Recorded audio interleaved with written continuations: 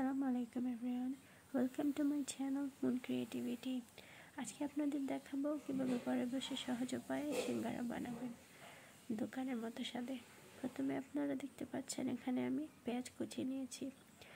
তারপর একটি বাটিতে এক টেবিল চামচ আদা বাটা, দুই টেবিল চামচ রসুন বাটা। আমি এখানে গরুর মাংস ব্যবহার করেছি। গরুর মাংস ছোটো ছোটো টুকরো করে কেটে ফেলেছি। ছোটো ছোটো টুকরো করলে এটা স্বাদ ভালো আসবে। মশলা এখানে নিয়েছি হলুদ গুঁড়ো, মরিচ গুঁড়ো, ধনিয়া গুঁড়ো, গরম মশলা, লবণ স্বাদ মতো, দুই তিনটে এলাচ, দুই তিন টুকরো দারচিনি। তারপর সবগুলো মশলা আর গরুর মাংস আমরা একসাথে ম্যারিনেট করে ফেলব একটা বাটিতে। ম্যারিনেট করার জন্য একটা বাটি নিয়ে নেব। বাটিতে মশ, গরুর মাংসের সাথে সব মশলা অ্যাড করে একটু তেল দিয়ে সব কিছু আমি একসাথে মাখিয়ে ফেললাম। মাখিয়ে আপনি ম্যারিনেট করার মাংসটা কিছুক্ষণ সাইডে ঢাকনা দিয়ে গুঁড়ে রেখে দেবেন, যাতে ম্যারিনেটটা ভালো মতো হয়। চাইলে আপনি একটু লেবুর রস অ্যাড করতে পারেন, এতে ম্যারিনেটটা ভালোভাবে হবে। তেল এখানে আমি দুই, তিন চামচ ইউজ করেছি। এখানে ম্যারিনেটের তেল দিয়ে দিলে এক্সট্রা আপনাকে বাজার জন্য তেল দিতে হবে না। এটাই সুবিধা হচ্ছে। ম্যারিনেটে তেল দেওয়ার। তারপর আমি একটু সময়ের জন্য রেস্টে রেখে দিলাম। এখন আমি লো ফ্লেমে আমার ম্যারিনেট করা মাংসটা একটা পাত্রে বসিয়ে দেব।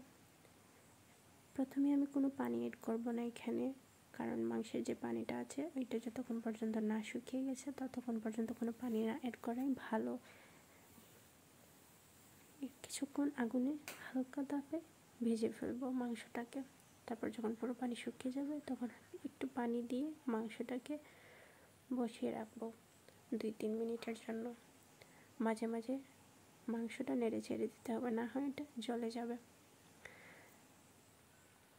খুব সুন্দর একটা স্মেল বের হবে সব ধরনের মশলা তারপর আমি একটা আলাদা পাত্রে কিছু তেল নিয়েছি। তেলে পেঁয়াজ কুচি দিয়ে দিয়েছি। তারপর এখানে আমি মরিচ দিচ্ছি কাঁচা মরিচ আমি কাঁচা মরিচ এখানে চার পাঁচটা ইউজ করেছি। আপনারা চাইলে আরও বেশি কম বেশি কম ইউজ করতে পারেন আপনাদের ইচ্ছে অনুযায়ী। লবণ, স্বাদ মতো দিয়েছি, সব ধরনের মশলা দিয়েছি। হলুদ, মরিচ, ধনিয়া গুঁড়ো গরম মশলা। এটা আমি ভাজি করতেছি সিঙ্গারের ভিতর পুরের জন্য। যখন আমাদের পেঁয়াজ, মরিচ সব কিছু ভালো মতো হয়ে যাবে, তখন আমরা এখানে আলু অ্যাড করে ফেলব। আলু অ্যাড করার পর এখানে আমরা একটু পর পর আলুটা ভালো করে নেড়ে দিব। নেড়ে দিয়ে তারপর এটা ঢাকনা দিয়ে গড়ে দেবো যাতে আলুটা ভালো মতো সিদ্ধ হয়ে যায় অ্যান্ড বাজিটা প্রপারলি হয়। যখন আমরা দেখব আমাদের বাজিটা হয়ে গেছে, আমরা আমাদের মাংসের কিমাটা যেটা করেছি আমরা আলাদা ওইটা এখানে অ্যাড করে ফেলব। অ্যাড করার পর এটা ভালো করে মিক্সচার রেডি করে ফেলব। মিক্সচার রেডি করার পর একটু কিছুক্ষণ আপনারা চাইলে দুই তিন মিনিট আগুনের উপর রাখতে পারেন। রাখলে এটা ভালো মতো অ্যাড হয়ে যাবে। ঢাকনা দিয়ে ঢেকে।